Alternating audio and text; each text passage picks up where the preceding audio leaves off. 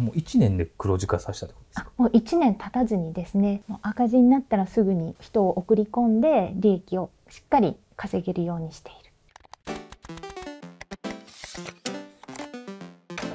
ニュースピックス編集部の北川です。伊藤忠商事が偉業を達成。今年1月11日に時価総額で初の10兆円を超えました。2010年に岡藤会長が社長に就任するんですが、当時1600億円だった純利益が今では安定して8000億円の利益を出せるようになりました。時価総額が10兆円を超えるのは三菱商事に続いて伊藤忠商事が2社目になります。そんな大成長を遂げた糸中ですが地道な戦略で利益を積み重ねてきました。そんな糸中商事に今市場が熱い視線を送っています。一体どんな戦略で成長してきたのか。そこには10兆円企業とは思えない地道な努力がありました。まずは5大商社の3級の決算を見ていきたいと思います。3級とは2023年4月から12月までの業績になります。結果は5大商社すべて減収減益でした。資源高で過去最高益となった前期の反動です。とはいえ、過去2番目の利益水準になります。そんな中、減少幅が10.3%と最小だったのが伊藤忠です。さらに通期では前年度の8005億円の利益を超え、5大商社で唯一増益への自信も見せています。その自信の表れは伊藤忠がこれまで進めてきた非資源事業の拡大にあります非資源事業とは石油や天然ガスなど資源以外のものやサービスなどを扱う事業になります。実は伊藤忠の純利益で非資源事業が占める割合は77%で三菱商事と三井物産の49%を大きく上回ります。伊藤忠はこの非資源事業をコツコツと収益の柱に育ててきました。そもそもなんでこの非資源事業に力を入れるんですかね。商社っていうと資源で儲けてるイメージあると思うんですが資源っていうのは市況の影響を受けるのでいい時もあれば悪い時もある。でしかもそのブレがとても大きいので業績のなんか変動が大きくなってしまうっていうことがあります。なので商社としても資源の影響を受けない非資源事業っていうのを近年強化していきました。どのような部門があるんですか？産休決算で好調だったのは食料情報金融第8カンパニーなどがあります。第8カンパニーっていうのはどういうことをされてるんですか？一番わかりやすい事業で言うとファミリーマートが第8カンパニーに入ります。今回の産休決算でそのコンビニ事業が好調だったってことですか、めちゃくちゃ好調ですね。予算を上回って大幅な増益を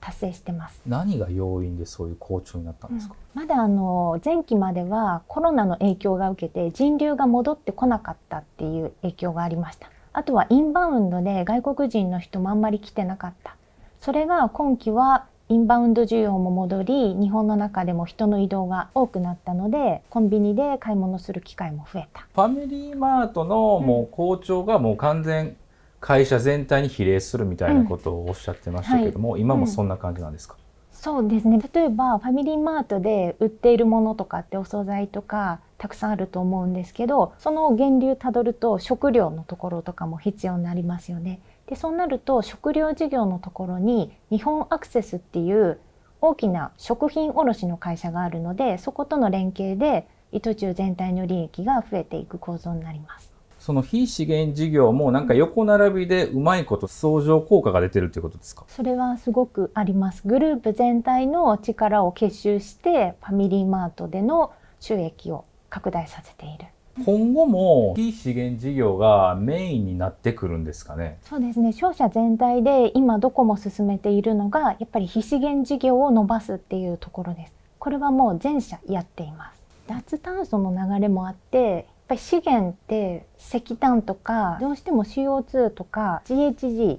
ていう脱炭素の流れと真逆の事業にもなってしまうのでそこの部分を減らしたいっていう思いもある。三菱商事が圧倒的に伸びているじゃないですか。これはどんな要因があるんですかね？このグラフで最後のところ大きく変化があるのは、これ3級の決算を発表した後のタイミングでこれだけ株価が変わってます。で、なぜ三菱商事だけこんなに上がってるかっていうと、産休の決算の発表の時に、ローソンの KDDI との共同経営それからもう一つ5000億円の自社株買いっていうのを発表しました今まで三菱商事は50.1%ローソンに出資をしていたんですがそれを50%の出資比率にして KDDI と一緒にローソンを共同経営していくっていう選択をした50対50にしたらなんかその経営する上で喧嘩するリスクもあるのかなって思うんですけれども、それでもこの5050にするメリットって何なんですかね？今まで三菱商事はローソンに50.1%出資していたので連結子会社の位置づけだったんですが50%になると持ち分法適用会社っていう位置づけになるのでローソンの資産を取り込まず利益だけ吸収できるようになります。こうなると資本効率っていうのが上がって市場の評価も高まり株価が上がる要因になります。5000億円の自社株買いなど株主配分の強化っていうのはどどういうことなんですかね？それだけ稼ぐ力がついたっていうことで今三菱商事は2024年度が最終年度の3か年の事業を進めてるんですが当初の計画よりもトータルで1兆円利益が上乗せできるぞっていうのが見えてきた。1兆円も利益がキャッシュとして入ってくるのでその部分を株主に還元するために5000億円の自社株買いっていうのを発表しました。自社株買いするとなんで株価が上がるかっていうと1株当たりの価値が上がるんですね。自社株買いするっていうことはそれだけ三菱商事が株を買い取るので市場に出回る株が少なくなる。そうなると1株当たりの価値が上がるので結果として株価も上がっていく要因になります。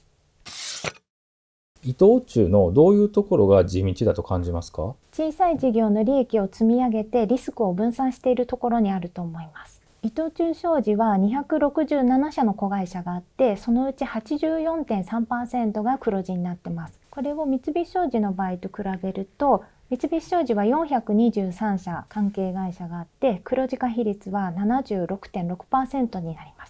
なので糸中の方が上回っている状況ですね。赤字の授業があったらもうすぐに手を打って黒字化させるようにしています。こうした子会社の利益の積み上げで糸中全体の利益の8割から9割を稼いでいます。となるとその本体は何をしているんですかね？事業会社になる子会社に出資をしています。でそうして出資した会社の事業に関わることで利益がたくさん稼げるような状況を作ってます。例えばドールなんですけど、イトチューはドールの事業のアジアの成果事業とグローバルの加工事業っていうのをやってます。去年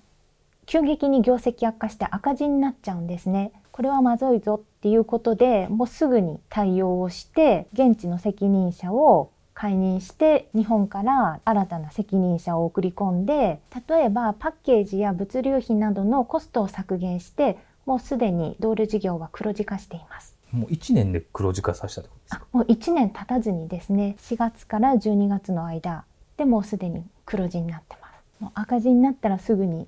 現地に1人人を送り込んで利益をしっかり稼げるようにしている。子会社への投資も結構しているんですよね。そうですね。ファミリーマート非公開化したり、伊藤忠テクノソリューションズ CTC っていう会社なんですがその会社とか大建工業を子会社化してます利益って出資比率に応じてその比率分だけ利益が入ることになるので例えば50%の出資だったものを100%にすると100%利益が全部伊藤忠に入ってくるなので利益が外に出ずにちゃんと取り込めるようになります例えば CTC の場合だと CTC 単体でやってる授業はあるんですけどそれだけではなくて伊藤忠本体の情報金融カンパニーの中にあるグループ会社がたくさんあるんですね。そういう会社のサービスとかもまとめてお客さんに提供できるようになるので提供するサービスが増えるってことはそれだけお客さんからもらえるお金も増えるので全体の収益を上げていけることになります。で投資している会社ファミマとか CTC とか結構生活に密着しているようなところもあるので収益利益が安定しているっていうところも評価の高いポイントになります。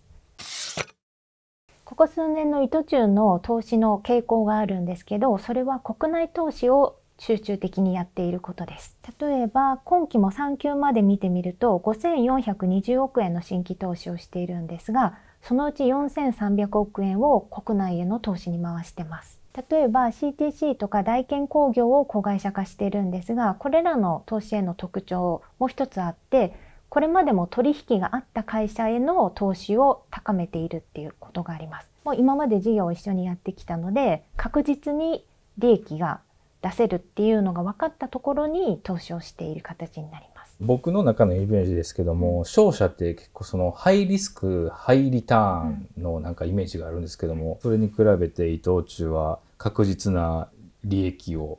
求めてると言いますか。そうですねその傾向はあると思います。すごい着実に利益を上げて1600億円から8000億円の純利益が出せるところまで来たのでもう本当コツコツ利益を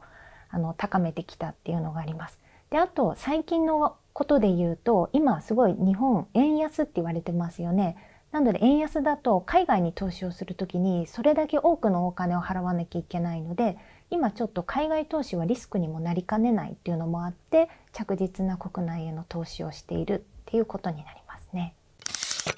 減収減益とはいえ過去2番目の利益を出しています。で今年5月に発表される通期決算もいい決算が期待できるのでその時には多分海外も含めてまた大きな投資の話なども出てきそうなのでこれからが楽しみです。来期は海外にも目を向けそうですかね？そうですね。なんかもう